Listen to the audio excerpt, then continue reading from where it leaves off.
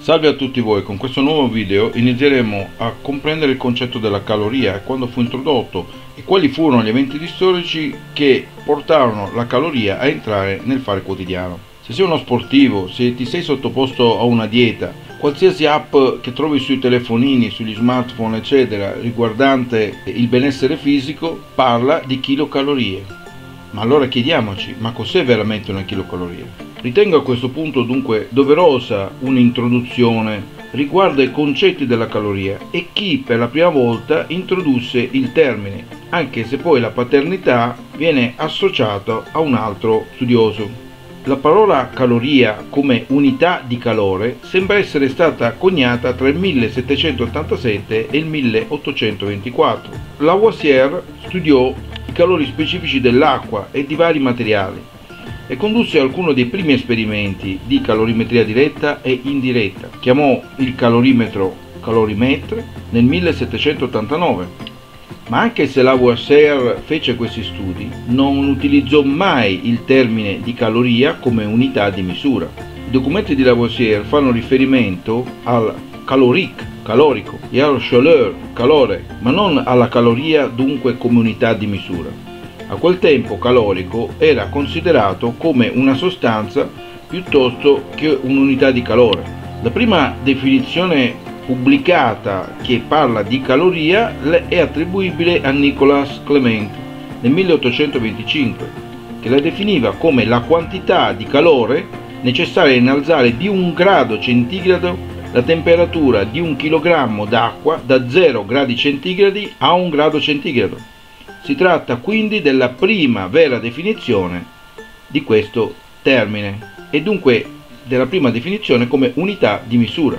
Poi esiste la piccola caloria e la grande caloria che viene indicata con una C piccola o una C grande, che poi vedremo diventa chilocalorie quando abbiamo a che fare con i concetti di biologia. Jean Prescott Joule calcolò nel 1850, in base a un esperimento chiamato il mulinello di Joule, che in tutte le scuole viene dimostrato e fatto vedere, l'equivalente meccanico del calore necessario a far innalzare di un grado Fahrenheit, ricordo che un grado centigrado corrisponde a 1,8 grado Fahrenheit, la temperatura di una libra, ricordo che una libra corrisponde a 450 grammi di acqua, dunque far innalzare una libra di acqua a 55-60 gradi Fahrenheit.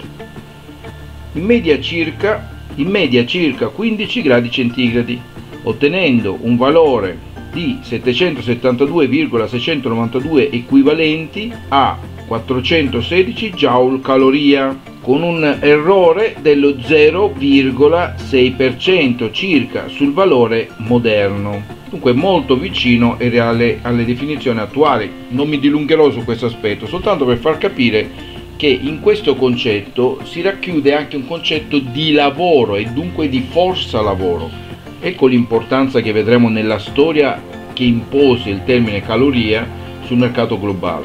Dunque, in biologia e in nutrizione il termine chilocaloria abbreviato con kcal o grande caloria dal simbolo cal con la C maiuscola come appena detto è l'energia necessaria per innalzare di un grado centigrado la temperatura di un chilogrammo di acqua distillata a pressione di un'atmosfera e corrisponde quindi a mille piccole calorie. È usata per indicare l'apporto energetico medio di una certa quantità specifica di alimento, ad esempio un grammo, 100 grammi, 500 grammi corrisponde a tot calorie e così via. Ma è proprio così? Sebbene il valore energetico di un alimento e il consumo di energia nell'attività fisica vengono annotati in calorie o chilocalorie, il sistema internazionale di unità misura adotta il joule e questo è un altro concetto importante. Dunque ritorniamo sempre sul concetto di forza lavoro. Teniamo a parte queste, queste, queste definizioni per capire poi il resto della storia. Un joule è il lavoro svolto esercitando la forza di un newton per una distanza di un metro, perciò la stessa quantità può essere riferita come newton metro.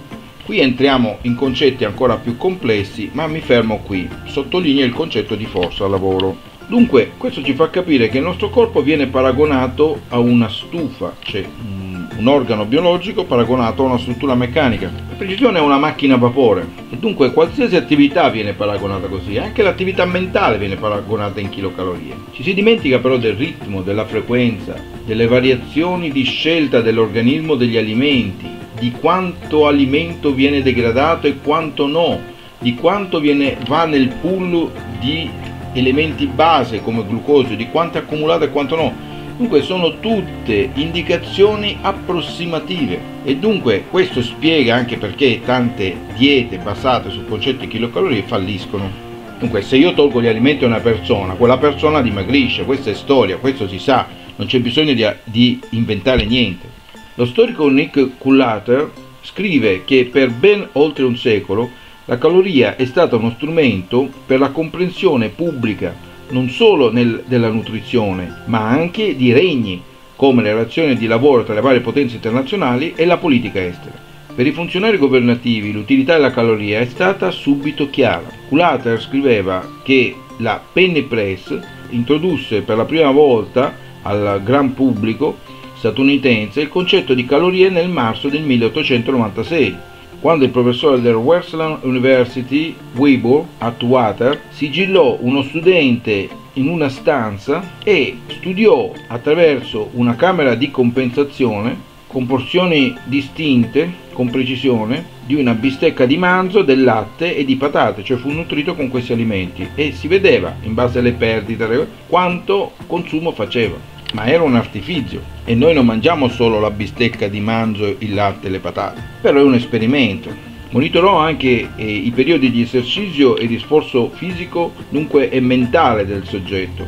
per valutare appunto il consumo calorico. Lo studente era all'interno di un calorimetro, dunque, un dispositivo precedentemente utilizzato per misurare l'energia combustiva di esplosivi e motori, come scriveva lo stesso Culater, questo storico, registrava l'assunzione di cibo e la produzione di lavoro in termini di energia termica. Alwater concluse che le leggi matematiche governavano l'atto ordinario del mangiare. Per i funzionari governativi dunque l'utilità della caloria fu immediatamente chiara. Poteva aiutare alla gestione efficiente nella nutrizione nelle prigioni, nelle scuole, degli eserciti, delle stesse famiglie, Estendendo gli studi sul tempo e sul movimento di Frederick Taylor, il conteggio delle calorie poteva determinare i modi più efficienti di nutrire la forza lavoro industriale, un'idea a cui i lavoratori e i loro sindacati crearono delle forti resistenze, riconoscendola come un modo per giustificare i bassi salari perché se non mangiavi in un certo modo e non producevi in quel modo, automaticamente io ti pago meno, cioè il concetto è molto semplice, no? La caloria dunque permetteva anche agli scienziati di confrontare le diete di diverse nazioni e dunque si parlava della dieta giapponese, della dieta cinese, della dieta europea e così via.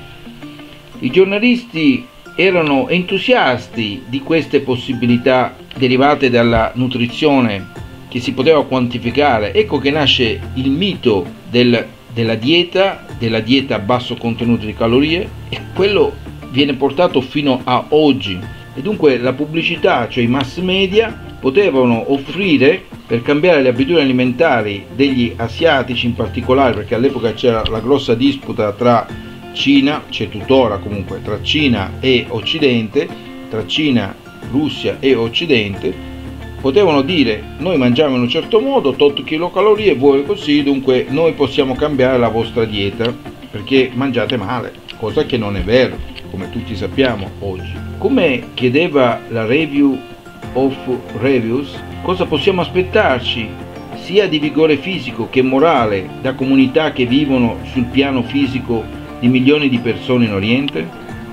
Naturalmente dal punto di vista odierno usare la caloria come unità di misura del valore alimentare è chiaramente fuorviante. Ecco perché non si può utilizzare questo concetto nell'alimentazione. I programmi di Atwater classificavano il grano, la carne e i latticini come importanti risorse nazionali mentre la frutta, le verdure e a foglie in particolare e il pesce registravano un valore nutrizionale molto scarso che potevano a malapena essere classificate come cibo, così scriveva lo stesso autore e fu sottolineato anche da vari storici questo argomento. Dunque ecco come sul mercato si introdusse un certo modo anche di vedere l'alimentazione. I pubblicitari sfruttarono l'idea delle calorie intercambiabili. Infatti in una pubblicità del 1903 cioè, si diceva ai potenziali consumatori che un bicchiere di birra Schwitz rappresentava 137 calorie, appena un po' meno del latte, il che lo rendeva carburante sufficiente a fornire abbondante energia alle macchine umane. Ecco anche l'esaltazione dell'utilizzo della birra nell'alimentazione quotidiana. Fu tutta una manipolazione a livello globale che iniziò dagli Stati Uniti per poi essere esportata in tutto il mondo. Nonostante all'epoca le lamentele di medici, di studiosi, ricercatori che spiegavano che la nutrizione non si può limitare nel semplice concetto della chilocalorie, la chilocaloria prese il sopravvento in tutto il mondo. Quello che noi possiamo soltanto considerare con questo termine di chilocaloria è un apporto energetico medio sulla base dei componenti che sono espressi sulle etichette delle confezioni, dunque un apporto energetico medio che cambia dall'attività fisica, dal sesso del soggetto, dall'età del soggetto e così via. E anche se esistono tabelle nutrizionali che rapportano questi dati a quello, non tengono presente del ritmo, non tengono presente delle frequenze, non tengono presente il sistema immunitario, non tengono presente i tanti dati che l'organismo utilizza per discernere quali alimenti in quel momento gli servono e quali no. E poi sottovaluto molto l'aspetto degli oligoelementi e delle vitamine che sono essenziali per un adeguato metabolismo energetico. Nel 1920 il governatore progressista del Michigan, Charles Osborne, propose addirittura che il commercio internazionale usasse la caloria come moneta universale commerciale, considerandola una misura di valore reale a differenza del valore immaginario dei metalli.